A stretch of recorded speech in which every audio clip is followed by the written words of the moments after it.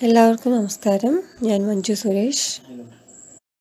രാമ ഹരേ ജയ രാമ ഹരേ ജയ രാമ ഹരേ ജയ രാമ ഹരേ.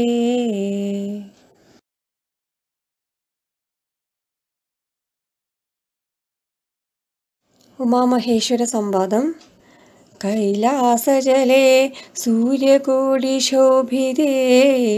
विमलालये रत्नपीठे संविष्टं ध्याननिष्ठं फाललोचनम् मुनिसिद्धदेवादिसेव्यम् नीललोहितं निजभर्तारं विश्वेश्वरम् വന്നിച്ചു വാമോത്സങ്ങേ വാഴുന്ന ഭഗവതി സുന്ദരി ഹൈമവതി ചോദിച്ചു ഭക്തിയോടെ. വിമലാലയം ശുദ്ധമായ ഇരിപ്പിടം രത്നപീഠം രത്നങ്ങൾ പതിപ്പിച്ച ഇരിപ്പിടം സംവിഷ്ടം ഒന്നിച്ചുറച്ച്. ഭാലം നെറ്റി ലോചനം കണ്ണ് ഭാലലോചനം നെറ്റിക്കണ്ണ്. മുനിസിദ്ധ ദേവാദിസേവ്യം അഷ്ടൈശ്വര്യ സിദ്ധിയുള്ള മുനിമാരാലും മറ്റു ദേവന്മാരാലും സേവിക്കപ്പെട്ട നീലലോഹിതൻ നീലയും ചുവപ്പും വർണങ്ങളുള്ളവൻ. അതായത് ശിവൻ. നിജഭർത്താരം തന്റെ ഭർത്താവായ വാമോത്സംഗി ഇടതുഭാഗത്ത് ഹൈമവതി ഹിമവാന്റെ പുത്രി പാർവതി. അഷ്ട ഐശ്വര്യ സിദ്ധികൾ. അണുത്വം. ആകാശം ചെറുതാക്കണമെന്ന് തോന്നിയാൽ അങ്ങനെ അണുപ്രായത്തിലാകാനുള്ള കഴിവ്. രണ്ട് അണിമാവ്. ഇഷ്ടം പോലെ രൂപം വലുതാക്കാനുള്ള കഴിവ്. മൂന്ന് മഹിമാവ്. ശരീരത്തെ ഭാരക്കുറവുള്ളതാക്കാനുള്ള കഴിവ്. നാല് ലഘുമാവ്. കനം വർദ്ധിപ്പിക്കാനുള്ള കഴിവ്. അഞ്ച് ഗരിമാവ്. ഈശ്വരത്വം പ്രാപിക്കാനുള്ള സിദ്ധി. ആറ് ഈശുമാവ്. തന്റെ ഇഷ്ടത്തിനനുസരണമായി ആരെയും മാറ്റാനുള്ള സിദ്ധി. ഏഴ് വശിത്വം. സാധാരണ നിലയിൽ ഒരാൾക്ക് മനസ്സുകൊണ്ട് പോലും തൊടാനാകാത്തതിനെ പ്രാപിക്കാനുള്ള സിദ്ധി. പ്രാപ്തി. ആഗ്രഹിക്കുന്നതെന്തും നേടാനുള്ള സിദ്ധി. ഇപ്രകാരം എട്ട് സിദ്ധികളുള്ളവർ അഷ്ടൈശ്വര്യ സിദ്ധന്മാർ എന്ന് അറിയപ്പെടുന്നു. സ്ഫടിക സമാനവും കോടി സൂര്യന്മാർ ഒന്നിച്ചുദിച്ച പോലത്തെ ശോഭയുമുള്ള ശുദ്ധമായ പാർപ്പിടത്തിൽ രത്നങ്ങൾ പതിപ്പിച്ച ഇരിപ്പിടത്തിൽ അഷ്ടൈശ്വര്യ സിദ്ധന്മാരായ മുനിമാരാലും മറ്റു ദേവന്മാരാലും സേവിക്കപ്പെട്ട് സദാ ധ്യാനനിഷ്ഠനായിരിക്കുന്ന നെറ്റിക്കണ്ണുള്ള നീലിയും ചുവപ്പ് നിറമുള്ള വിശേഷനായ തന്റെ ഭർത്താവ് പരമേശ്വരന്റെ ഇടതുഭാഗത്ത് കഴിയുന്ന ഹിമ ഹിമവൻ പുത്രിയായ സുന്ദരിയായ പാർവതി വിശ്വേശ്വരനെ ഭക്തിപൂർവം വന്ദിച്ചുകൊണ്ട് ചോദിച്ചു.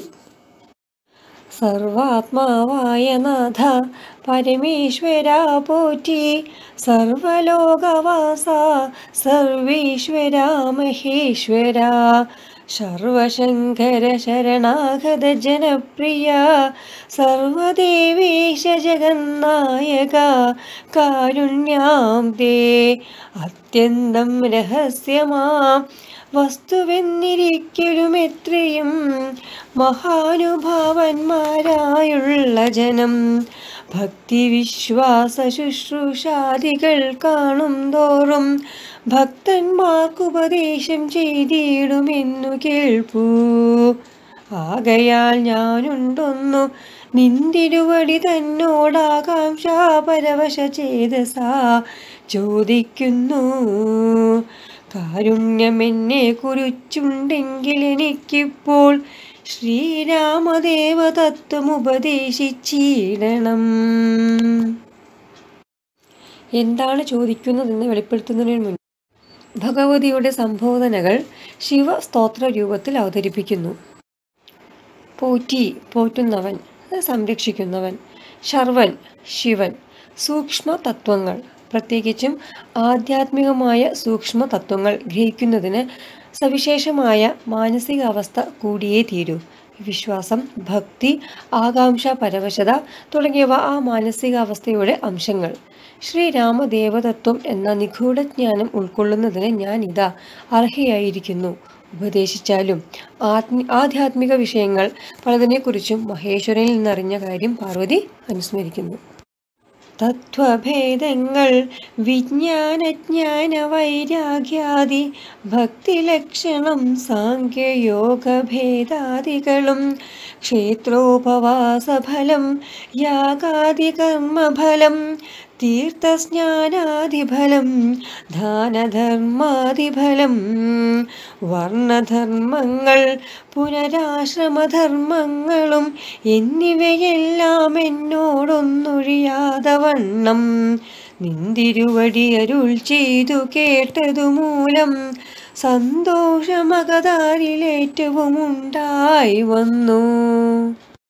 ബന്ധമോക്ഷങ്ങളുടെ കാരണം കേൾക്കമൂലമന്തത്വം തീർന്നുകൂടി ചേതസി ജഗൽപതേ ശ്രീരാമദേവൻ തന്റെ മാഹാത്മ്യം കേൾപ്പാനുള്ളിൽ പരമാഗ്രഹമുണ്ടു ഞാനതിൻ പാത്രമെങ്കിൽ. കാരുണ്യാഭുതേ കരുഞ്ഞരുളി ചെയ്തീടണമാരും നിന്തിരുവടിയൊഴിഞ്ഞില്ലതു ചൊൽവാൻ ഈശ്വരി കാർത്യായനി പാർവതി ഭഗവതി ശാശ്വതനായ പരമേശ്വരനോടി വണ്ണം. ചോദ്യം ചെയ്തതു കേട്ടു തെളിഞ്ഞു ദേവൻ. ജഗദാധ്യനീശ്വരൻ മന്ദഹാസം പൂണ്ടരുൾ ചെയ്തു.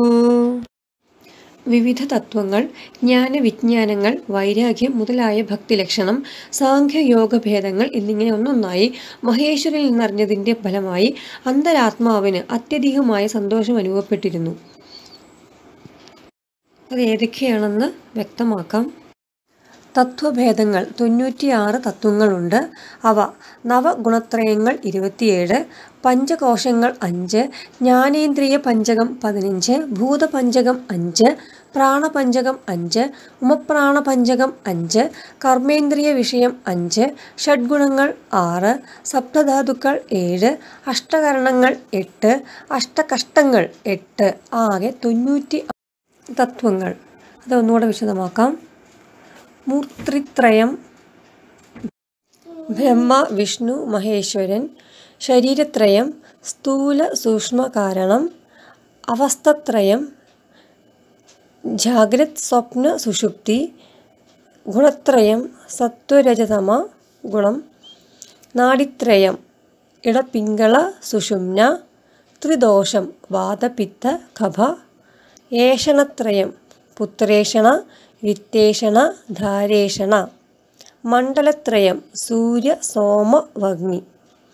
താപത്രയം ആധ്യാത്മിക ആദി ഭൗതികം ആദി ദൈവികം പഞ്ചകോശങ്ങൾ.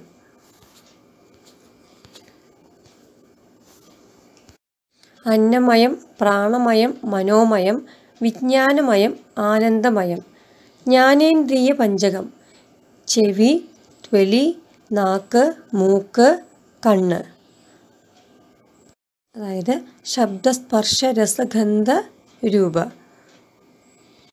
ഭൂതപഞ്ചകം പൃഥ്വി അപ് തേജ വായു ആകാശം. പ്രാണപഞ്ചകം പ്രാണ അപാന സമാന ഉദാന വ്യാന.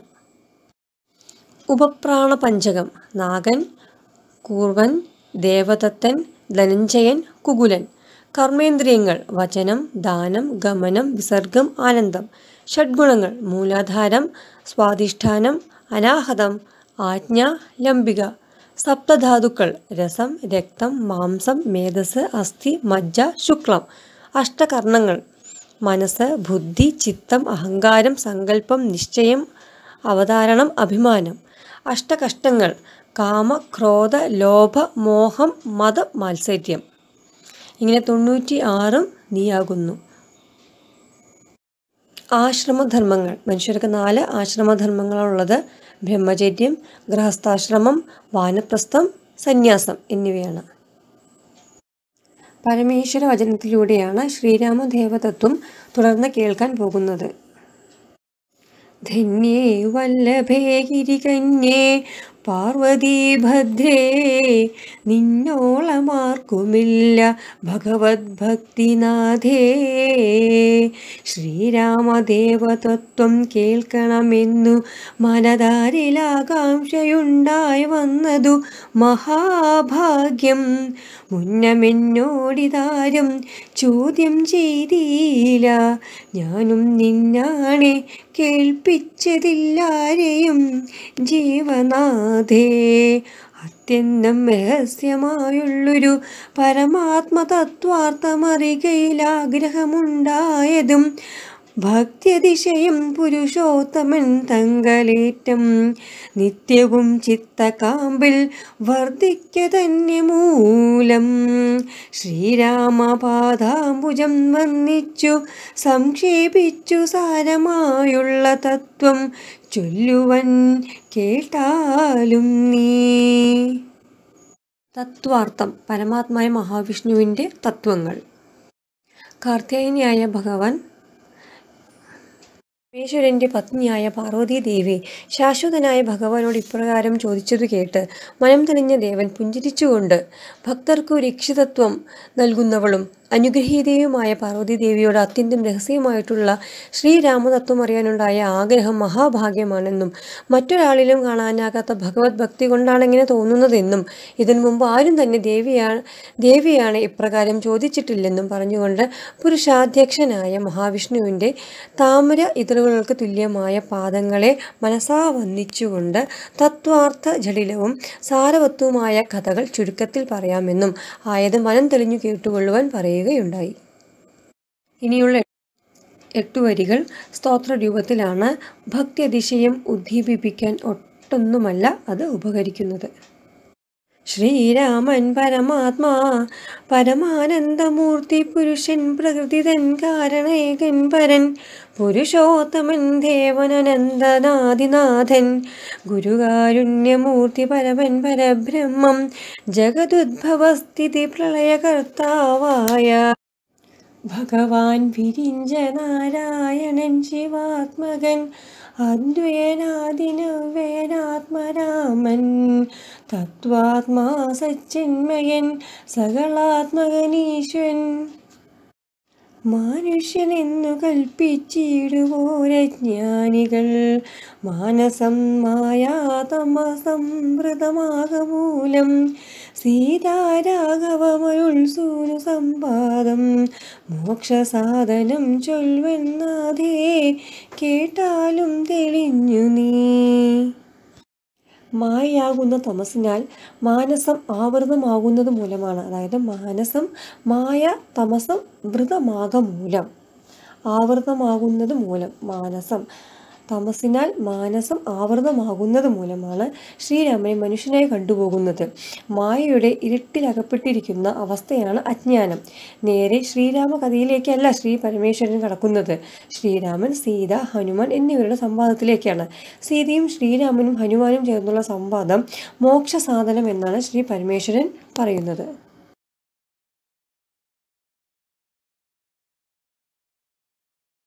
എങ്കിലോ മുന്നം ജഗന്നായകൻ രാമദേവൻ.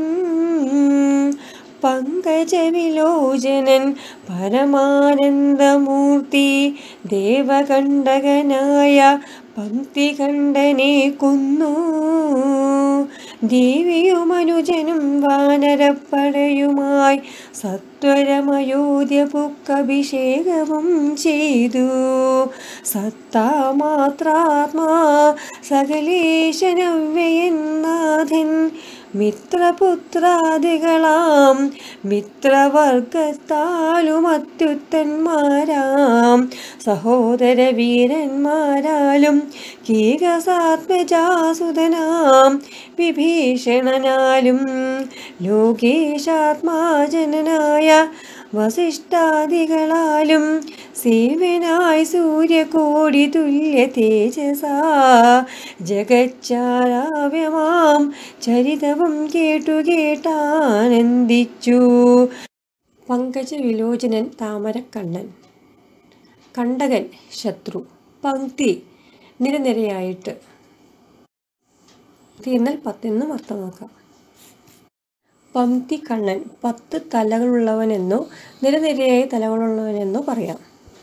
ത്വരം പെട്ടെന്ന് സത്താ മാത്രാത്മ ഉണ്ടെന്ന് തോന്നുന്നതും എന്നാൽ ദൃശ്യമല്ലാത്തതുമായ ആത്മാവ്.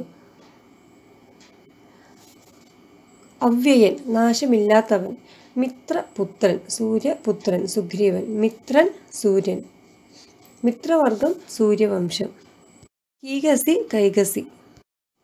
നിർമ്മലമണിലസൽ കാഞ്ചന സിംഹാസനേ തന്മായാദേവിയായ ജാനകിയോടും കൂടി സാനന്ദമിരുന്നരുളിയിടുന്ന നേരം പരമാനന്ദമൂർത്തി മുമ്പിലാമാറു ഭക്ത്യാ. വന്നിച്ചു നിൽക്കുന്നൊരു ഭക്തനാം ജഗൽ പ്രാണാനന്ദൻ തന്നെ തൃക്കൺ പാർത്തു കാരുണ്യമൂർത്തി മന്ദഹാസവും പൂണ്ടു സീതയോടരുൾ ചെയ്തു. സുന്ദരരൂപേ ഹനുമാനെ നീ കണ്ടായല്ലേ. നിന്നിലും എന്നിലും ഉണ്ടെല്ലാ നേരവും ഇവൻ തന്നുള്ളിൽ അഭേദയായുള്ളൊരു ഭക്തിനാഥേ. രാവണവധം കഴിഞ്ഞ് ശ്രീരാമൻ അയോധ്യയിൽ മടങ്ങിയെത്തുകയും അഭിഷേകം നടത്തുകയും ചെയ്തതിനു ശേഷം രത്നശോഭിതമായ കാഞ്ചന സിംഹാസനത്തിലിരുന്ന് സീതാദേവിയോട് പറഞ്ഞു സുന്ദരി നീ ഇതാ ഹനുമാനെ കാണുന്നില്ലേ? ലോകേഷാത്മജൻ എന്ന് പറഞ്ഞാൽ ബ്രഹ്മാവിന്റെ പുത്രൻ ജഗൽ പ്രാണനന്ദൻ വായുപുത്രൻ ജഗൽ പ്രാണനന്ദനൻ വായുപുത്രൻ ഹനുമാൻ സത്താമാത്രാത്മാവായ ജഗദീശ്വരന്റെ സത്യം അറിയുന്നതിന് ജഗൽ പ്രാണനന്ദനേക്കാൾ വൈഭവം മറ്റാർക്കാണുള്ളത്? അതുകൊണ്ടാണ് ആ സഭയിൽ ഹനുമാനെ പ്രത്യേകമായി സീതാദേവിയുടെ ശ്രദ്ധയിൽപ്പെടുത്താൻ ഭക്തവത്സലനായ ശ്രീരാമൻ മുതിരുന്നത്.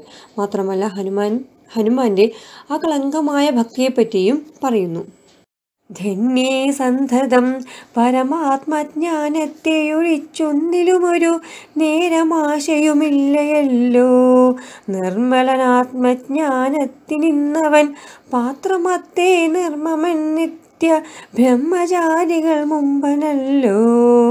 കൽമഷമിവനേതുമില്ലെന്നു ധരിച്ചാലും തന്മനോരഥത്തെ നീ നൽകണം മടിയാതെ. നമ്മുടെ തത്വമിവനറിയിക്കണമിപ്പോൾ ചിന്മയേ ജഗന്മ സന്മയേ മായാമയേ. ബ്രഹ്മോപദേശത്തിനു ദുർലഭം പാത്രമിവൻ. ബ്രഹ്മജ്ഞാനാർത്ഥികളിൽ ഉത്തമോത്തമനെടോ. ഹനുമാന്റെ മനോരഥം ബ്രഹ്മജ്ഞാനം നേടുക എന്നാണ്. ആകയാൽ നമ്മുടെ തത്വം പരമാർത്ഥം. അവനെ അറിയിക്കണം. ശ്രീരാമന്റെ നിർദ്ദേശാനുസരണം സീത ഭക്തനായ ഹനുമാന്റെ മുമ്പാകെ തത്വം വെളിപ്പെടുത്തുന്നു. ഈ രാമദേവനെ അരുൾ ചെയ്ത നേരം മാരുതി തന്നെ വിളിച്ചരുൾ ചെയ്തു ദേവി. വീരന്മാർ ചൂടും മകുടത്തിൽ നായകക്കല്ലേ. ശ്രീരാമപാദ ഭക്തപ്രവര കേട്ടാലും നീ സച്ചിദാനന്ദ ഏകമദ്വയം പരബ്രഹ്മം നിശ്ചലം സർവോപാധി നിർമുക്തം സത്താമാത്രം.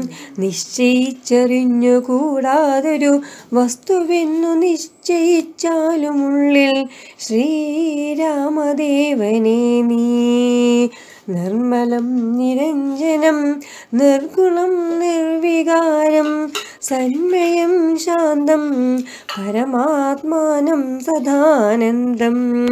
ജന്മനാശാദികളില്ലാതൊരു വസ്തു പരബ്രഹ്മമീ ശ്രീരാമനെന്നറിഞ്ഞുകൊണ്ടാലും നീ സർവകാരണം സർവവ്യാപിനം സർവാത്മനം സർവജ്ഞം സർവേശ്വരം സർവസാക്ഷിണം നിത്യം സർവദം സർവാധാരം സർവദേവതാമയം. നിർവികാരാത്മാ രാമദേവനെന്നറിഞ്ഞാലും. ഭക്തപ്രവരൻ ഭക്തന്മാരിൽ ശ്രേഷ്ഠൻ ഉത്തമൻ. സർവതം സർവവും തരുന്നത്.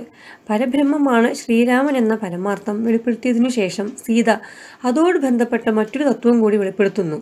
താൻ ആരാണ് എന്ന തത്വം സീത തുടരുന്നു.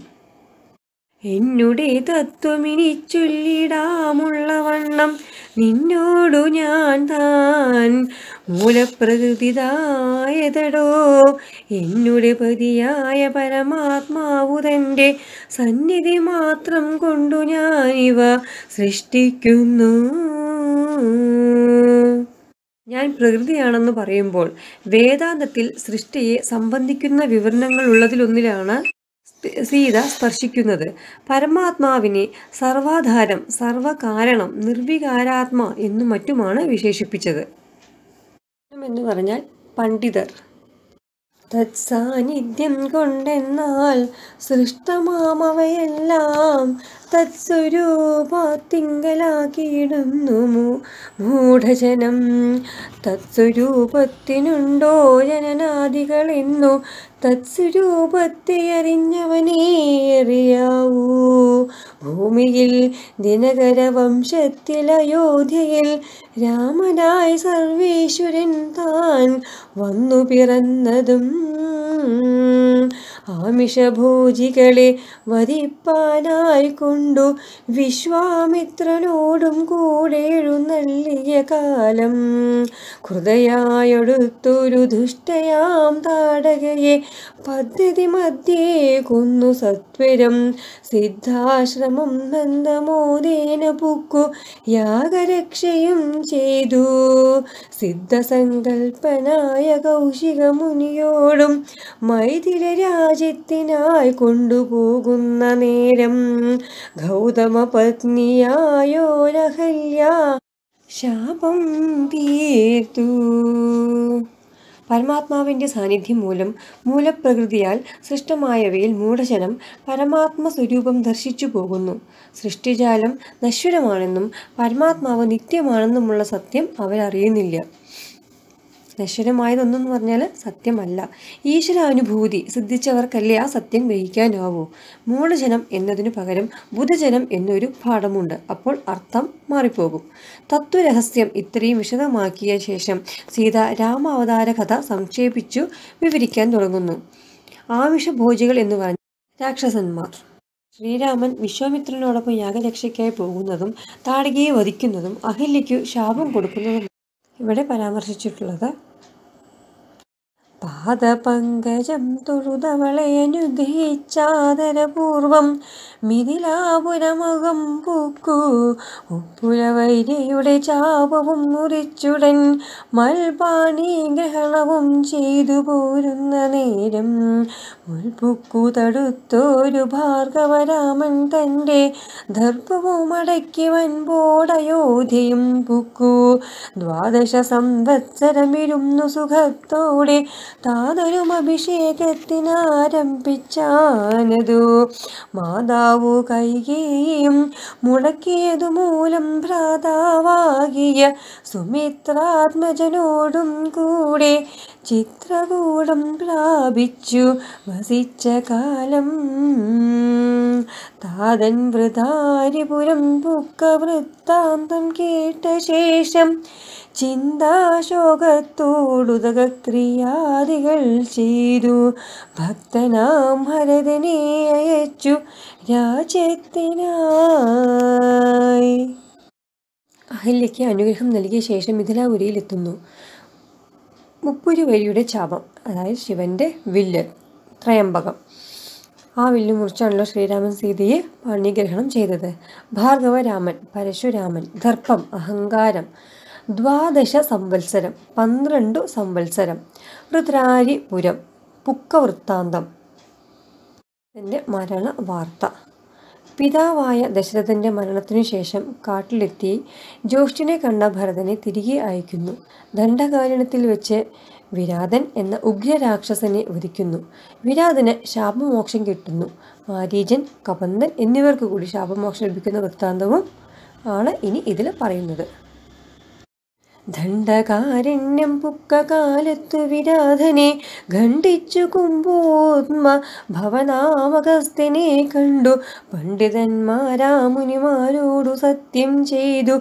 ദണ്ഡമെന്നിയെ രക്ഷോ വംശത്തെ ഒടുക്കുവാൻ പുക്കിതു പഞ്ചവടി തത്ര വാണിയിടും കാലം. പുഷ്കര ശരപരവശയായി വന്നാളല്ലോ. രക്ഷോനായകനുടെ സോദരി ശൂർപ്പണഖ. ലക്ഷ്മണവനുളെ നാസികാചേതം ചെയ്തു. ഉന്നതനായ ഹരൻ കോപിച്ചു. യുദ്ധത്തിനായി വന്നിതു പതിനാലു സഹസ്രം പടയോടും. കൊന്നിതു മൂന്നേ മുക്കാൽ നാഴിക കൊണ്ടു തന്നെ. പിന്നെ ശൂർഭണക പോയി രാവനോടു ചെന്നാൾ മായയാ പൊന്മാനായി വന്ന മാരീചൻ തന്നെ സായകം പ്രയോഗിച്ചു. സൽഗതി കൊടുത്തപ്പോൾ മായാ സീതയെ കൊണ്ടു രാവണൻ പോയ ശേഷം മായാമാനുഷൻ ജടായുസിനു മോക്ഷം നൽകി. രാക്ഷസവേഷം പൂണ്ട കബന്ധൻ തന്നെ കൊന്നു മോക്ഷവും കൊടുത്തുപോയി ശബരി തന്നെ കണ്ടു മോക്ഷധനവളുടെ പൂജയും കൈക്കൊണ്ടതാ. മോക്ഷദാനവും ചെയ്തു പൊക്കിതു പമ്പാതീരം. തത്ര കണ്ടിതു നിന്നെ പിന്നെ നിന്നോടും കൂടി. മിത്രനന്ദനായ സുഗ്രീവൻ തന്നെ കണ്ടു. മിത്രമായിരിപ്പൂതെന്നോനം സഖ്യം ചെയ്തു വൃത്രാരിപുത്രനായ ബാലിയെ വധം ചെയ്തു.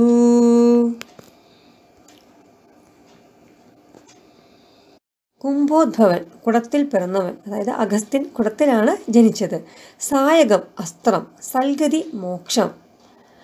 വിരാധനു മാത്രമല്ല മാരീജനും ജഡായുസനും കബന്ധനും ശബരിക്കും മോക്ഷം സിദ്ധിക്കുന്നു. ഭാര്യ വധിക്കുന്നതുമായ സംഭവങ്ങളാണ് അടുത്തത്. ഇതാന്വേഷണം ചെയ്തു. ദക്ഷിണ ജലതയിൽ സേതു ബന്ധനം ലങ്കാമർദ്ദനം പിന്നെ ശേഷം പുത്രമിത്ര മാതൃഭൃത്യാദികളോടും കൂടി യുദ്ധസന്നദ്ധനായ ശത്രുവാ ദശാസ്യനെ ശസ്ത്രേണ വധം ചെയ്തു രക്ഷിച്ചു. ലോകത്രയം ഭക്തനാം വിഭീഷണനഭിഷേകവും ചെയ്തു. സീതാന്വേഷണം ദക്ഷിണ സമുദ്രത്തിൽ സേതുബന്ധനം ലങ്കാമർദ്ദനം രാവണവധം വിഭീഷണനെ അഭിഷേകം ചെയ്യൽ ഇവ അനുക്രമം പ്രസ്താവിടെ ഇവിടെ പ്രസ്താവിച്ചിരിക്കുന്നത്. ദശാസ്യൻ എന്ന് പറഞ്ഞാൽ രാവണൻ ശസ്ത്രേണ എന്ന് പറഞ്ഞാൽ ശസ്ത്രം കൊണ്ട് രക്ഷിച്ചു ലോകത്രയം. മൂന്ന് ലോകങ്ങളെയും രക്ഷിച്ചു. ത്രയം എന്ന് പറഞ്ഞാൽ മൂന്ന്. പാവകൻ തങ്കൽ മറഞ്ഞിരുന്നോരെന്നെ പിന്നെ പാവനയെന്നു ലോകസമ്മതമാക്കിക്കൊണ്ടു.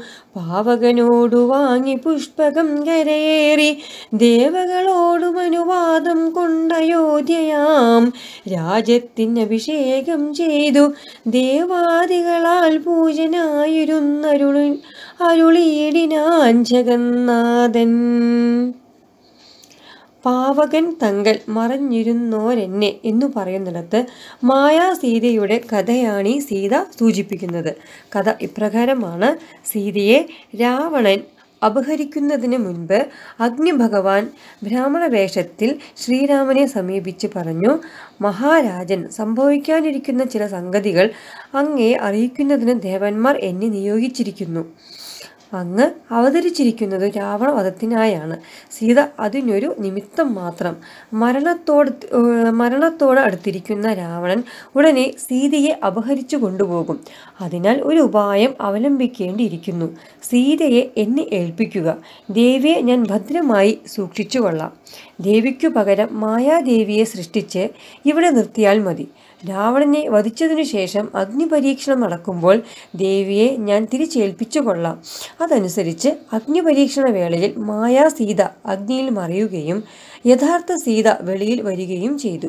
സൂര്യ തേജസ്സിന്റെ രേണുക്കളാൽ വിശ്വകർമാവ് സൃഷ്ടിച്ച വിമാനമാണ് പുഷ്പകം.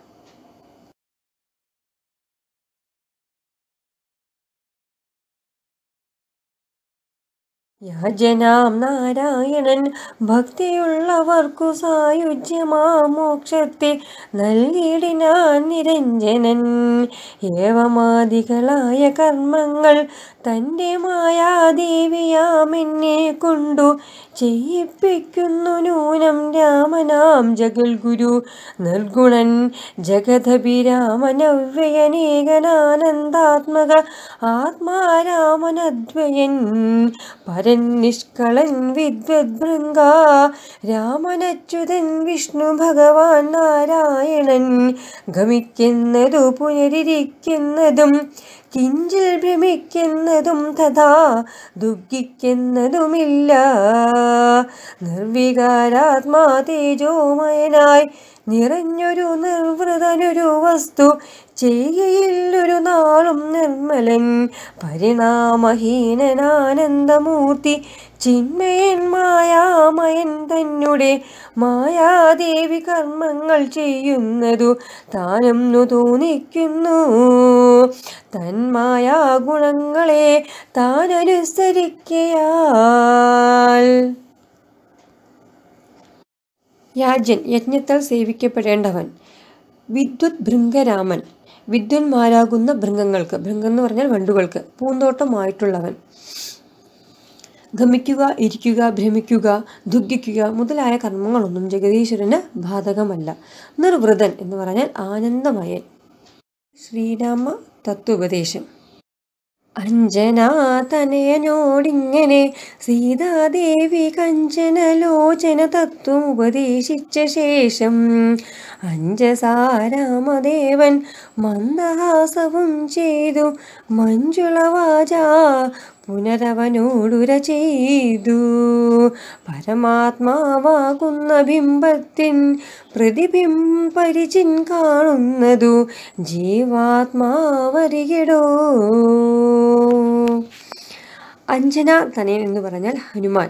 കഞ്ചന ലോചന തത്വം ശ്രീരാമനെ സംബന്ധിക്കുന്ന തത്വം മഞ്ജുള വാച മധുരമായ വാക്കുകളാൽ ശ്രീരാമന്റെ വാക്കുകൾ. ഇന്ദ്രിയങ്ങളിലൂടെ നാം അറിയുന്ന ജീവാത്മാവ് പ്രതിബിംബം മാത്രമാണ് പരമാത്മാവിന്റെ പ്രതിബിംബം. തേജോരൂപിണിയാകും എന്നുടെ മായാതങ്കൽ വ്യാജമെന്നിയെ നിഴലിക്കുന്നു കവിവര ഓരോരോ ജലാശയെ കേവലം മഹാകാശം നേരെ നീ കാൺമീലയോ? കണ്ടാലും അതുപോലെ സാക്ഷാലുള്ളൊരു പരബ്രഹ്മമാം. പരമാത്മാ സാക്ഷിയായുള്ള ബിംബം നിശ്ചലമതു സഖേ തത്വമസ്യാദിമഹാവാക്യാർത്ഥം കൊണ്ടു മമ തത്വത്തെ അറിഞ്ഞിടാമാചാര്യ കാരുണ്യത്താൽ മദ് മദ്ഭക്തനായുള്ളവനി പദമറിയുമ്പോൾ മദ്ഭാവം പ്രാപിച്ചിടുമില്ല. സംശയമേതും? കപിവര എന്ന് പറഞ്ഞാൽ കപി ശ്രേഷ്ഠൻ അനേകം ജലാശയങ്ങളിൽ ഏകമായ മഹാകാശം പല പലതായി നിർലിക്കുന്നത് പോലെ ഏകമായ പരിഭ്രമം അനേകമായ ജീവാത്മാക്കളിൽ പ്രതിഫലിക്കുന്നു. അത് നിശ്ചലമാണ്. അത് സർവത്തിനും സാക്ഷിയാണ്. തത്വമസി. മുതലായ മഹാവാക്യങ്ങളിലെ നിഗൂഢാർത്ഥത്തിലൂടെ എന്നെ സംബന്ധിക്കുന്ന സത്യം അറിയാനാകും. പക്ഷെ അപ്രകാരം അറിയുന്നതിന് ഗുരുകാരുണ്യം അനുപേക്ഷണീയമാണ്. മദ്ഭക്തി വിമുഖന്മാർ ശാസ്ത്രകർത്തങ്ങൾ തോറും സദ്ഭാവം കൊണ്ടു ചാടി വീണു മോഹിച്ചിടുന്നു. ഭക്തിഹീനന്മാർക്കു നൂറായിരം ജന്മം കൊണ്ടും സിദ്ധിക്കയില്ല തത്വജ്ഞാനവും കൈവല്യവും. പരമാത്മാ മമ ഹൃദയം രഹസ്യമിതൊരു നാളും മദ്ഭക്തിഹീനന്മാരായി മേവിടും. നരന്മാരോടു പറഞ്ഞറിയിക്കരുതിടും. പരമമുപദേശമില്ലിതന്മീതയൊന്നും ശ്രീ മഹാദേവൻ മഹാദേവിയോടരുൾ ചെയ്തു. രാമമാഹാത്മ്യമിതം പവിത്രം ഗുഹ്യതമം സാക്ഷാൽ ശ്രീരാമപ്രോക്തം. വായുപുത്രനായി കൊണ്ടു മോക്ഷദം പാപഹരം ഹൃദ്യമാനന്ദോദയം. സർവവേദാന്തസാരസഗ്രഹം രാമതത്വം ദിവ്യനാഹനുമാനോടുപദേശിച്ചതെല്ലാം. ഭക്തി പൂണ്ടാനാരദം പഠിച്ചിടുന്ന പുമാൻ മുക്തനായി വരുമൊരു സംശയമില്ല നാഥേ. ശാസ്ത്രത്തിന്റെ പടുകുഴികളിൽ വീണ് മോഹങ്ങളിൽ വലയുന്ന വലയുക എന്ന അനുഭവമേ ഭക്തിഹീനന്മാർക്കുണ്ടാകൂ. നൂറായിരം ജന്മം ലഭിച്ചാൽ പോലും അക്കൂട്ടർക്ക് തത്വജ്ഞാനമോ മോക്ഷമോ സിദ്ധിക്കുകയില്ല. ഈ ഭാഗത്തിലെ രാമഹൃദയം എന്നാണ് പേര്. പാർവതിയോട് ശ്രീ പരമേശ്വരൻ ശ്രീ രാമാവതാര കഥ പറയാൻ ആരംഭിക്കുന്നതാണല്ലോ നാം കണ്ടത്. സീതയുടെയും രാമന്റെയും വാക്കുകളിലൂടെ കഥയ്ക്ക് ആവ- ആവശ്യമായ പശ്ചാത്തലം ഒരുക്കിക്കഴിഞ്ഞു. അനാരതെന്ന് പറഞ്ഞാൽ എല്ലായ്പ്പോഴും. ബ്രഹ്മഹത്യാദി ദുരിതങ്ങളും ബഹുവിധം ജന്മങ്ങൾ തോറുമാർജിച്ചുള്ളവയെന്നാകിലും ഒക്കവേ നശിച്ചു പോമെന്നരുൾ ചെയ്തു രാമൻ മർക്കടപ്രവരനോടെന്നതു സത്യമല്ലോ. ജാതി നിന്ദിതൻ പരസ്ത്രീധനഹാരി പാപി മാതൃഘാതകൻ പിതൃഘാതകൻ ബ്രഹ്മഹന്ത. യോഗി വൃന്ദാവകാരി സുവർണസ്ഥേ ദുഷ്ടൻ ലോകനിന്ദിതനേറ്റമെങ്കിലും അവൻ ഭക്തിയ. രാമനാപത്തി ജപിച്ചിടുകിൽ ദേവകളാമോദപൂർവം പൂജനായി വരുമത്രയല്ല. യോഗീന്ദ്രന്മാരാൽ പോലും അലഭ്യമായ വിഷ്ണു ലോകത്തെ പ്രാപിച്ചിടുമില്ല സംശയമേതും. ശ്രീരാമനാമം നിരന്തരം ജപിക്കുകയാണെങ്കിൽ ദേവതകൾക്കു പോലും നാം പൂജ്യരായി ഭവിക്കും. മാത്രമല്ല യോഗീന്ദ്രന്മാർക്ക് പോലും ലഭിക്കാത്ത വിഷ്ണു ലോകത്തെ നാം പ്രാപിക്കുകയും ചെയ്യും. സംശയമില്ല.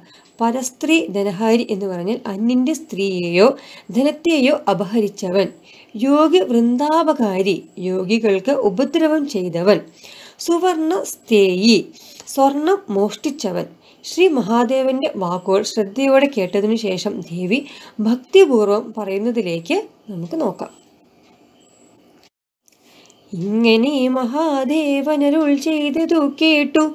തിങ്ങിടും ഭക്തിപൂർവമരുൾ ചെയ്തിതു ദേവി മംഗളാത്മാവേ മമ ഭർത്താവേ ജഗൽപദേ ഗംഗാ കാമുക പരമേശ്വരദയാനിധേ പന്നക വിഭൂഷണ ഞാൻ അനുഗ്രഹീതയായി ധന്യയായി കൃതാർത്ഥയായി സ്വസ്ഥയായി വന്നേനല്ലോ.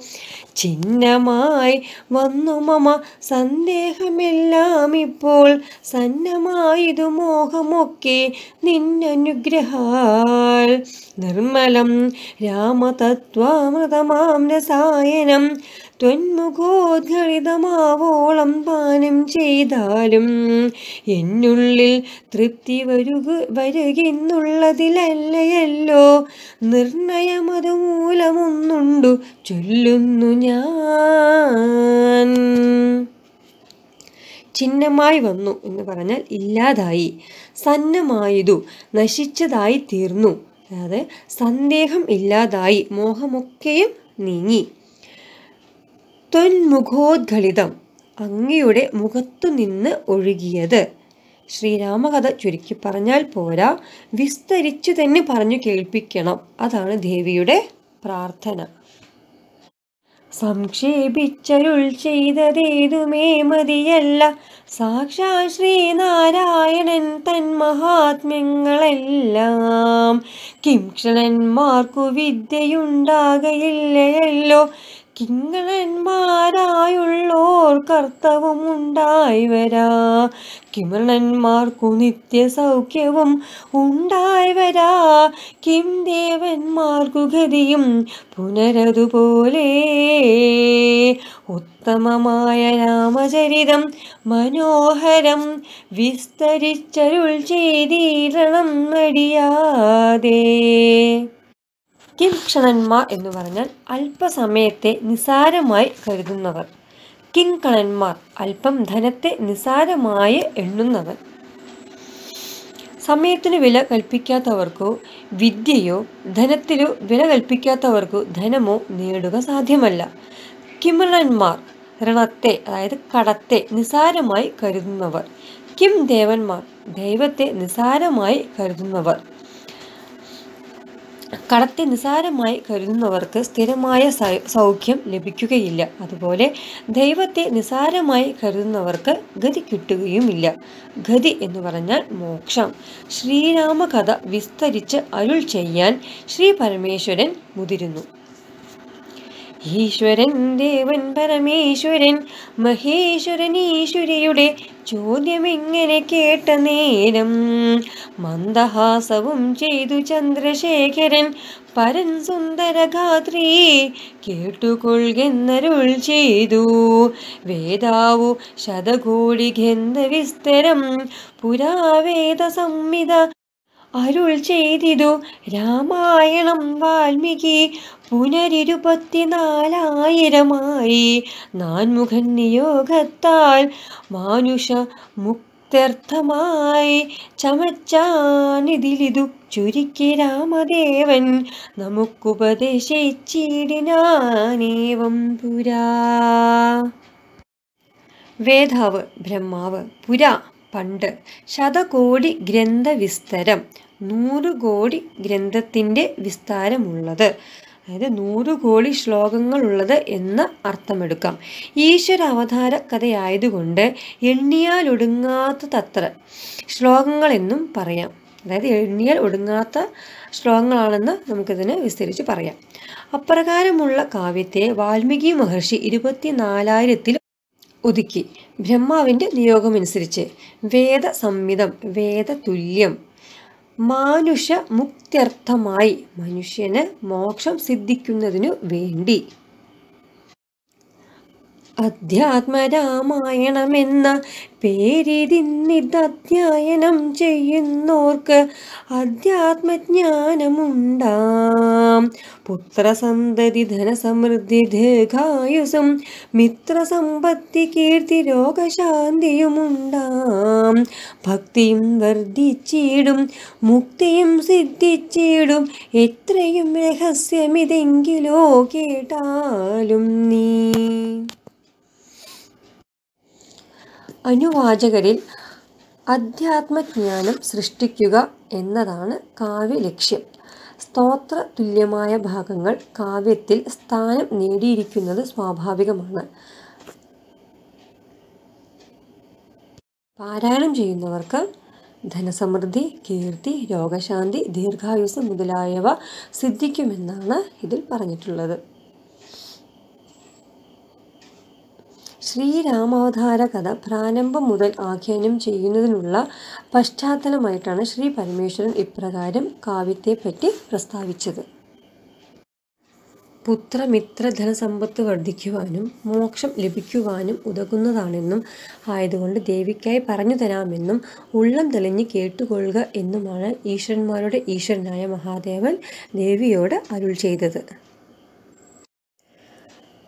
അടുത്ത ഭാഗമായിട്ട് വരുന്നതുവരേക്കും നമസ്കാരം. ഹരി ഓം.